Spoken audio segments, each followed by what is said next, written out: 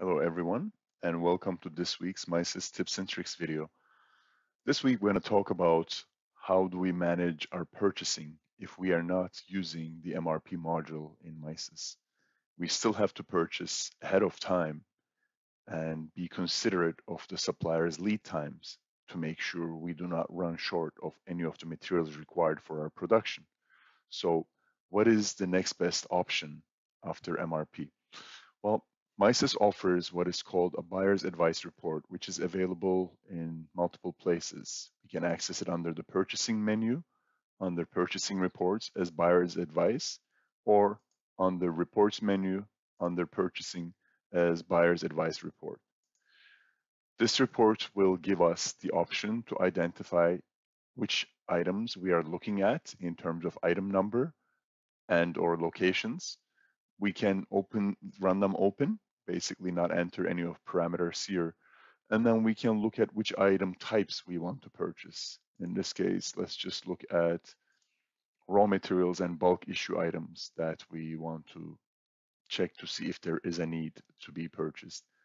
Shortage basis is reorder. Uh, this is our reorder level that we identify for each of our items in their item master.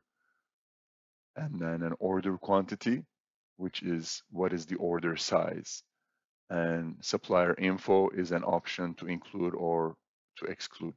So running this report with these selected parameters, what we get is MISys going and looking at the current stock levels of each of the items in identified locations, if any locations have been selected, if not, for all locations available, and giving us a report for items that are with a current stock, with an on-hand stock that is below what has been set for that item as the reorder level.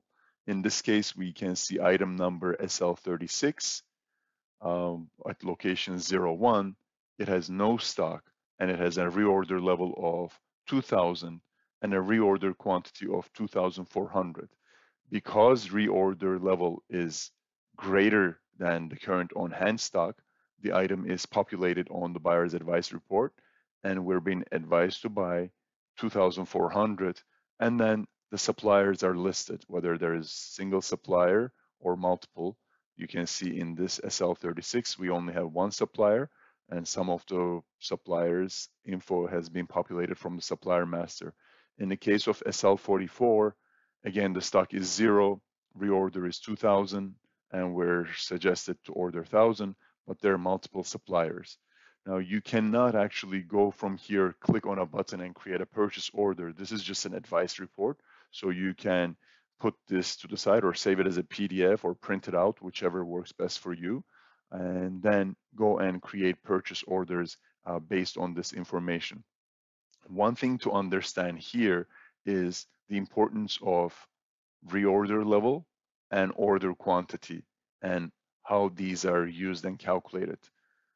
To that end, we can take a look at an inventory chart where we have the days on the x-axis and quantities for any given item on the y-axis. Here is our legend. The inventory level is shown in orange as it depletes uh, day by day.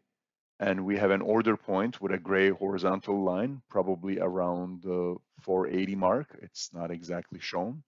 And then we have a safety stock, which MISys calls minimum. And we marked it at, as a horizontal line on the 200 level for our inventory. Now, our order point, which is our gray horizontal line, is a formula that we need to calculate. It's not something we just make up. It needs to be a data-driven uh, calculation. And it's safety stock, which is our minimum in MISys, which is this yellow line here, 200, and DDLT referring to demand during lead time. This is an important calculation. Uh, we need to calculate what DDLT is to properly be able to set up our order point. DDLT is the demand during lead time referring to how much of this item we are going to consume once we order it to the time that we receive it. How do we calculate that? in this case, you can see the orange inventory line is dropping to the order point and we place an order at this point, but the order doesn't arrive as soon as we place it. There is a specific lead time and the red arrows here show the lead time because this is the point when the order is received. So it seems like the lead time is like three days. We order on the 13th, it arrives on the 16th or something like that.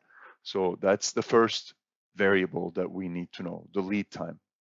The second variable is the yellow line, and this is showing us the demand during lead time. So that is our result, but how do we arrive at that?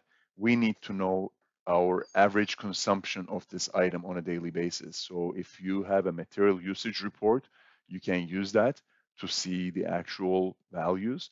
And if you don't have one uh, at Central Nervous Systems, would be glad to help uh, create one for you.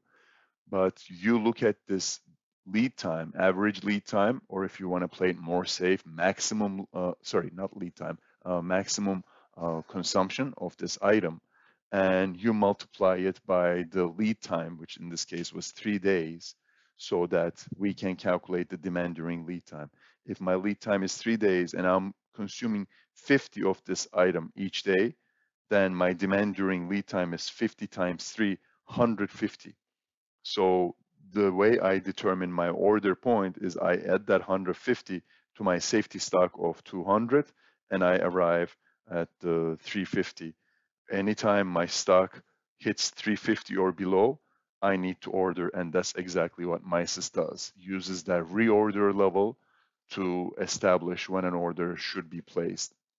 So we can use this as a very effective tool when trying to calculate our purchasing planning when we are not using MRP.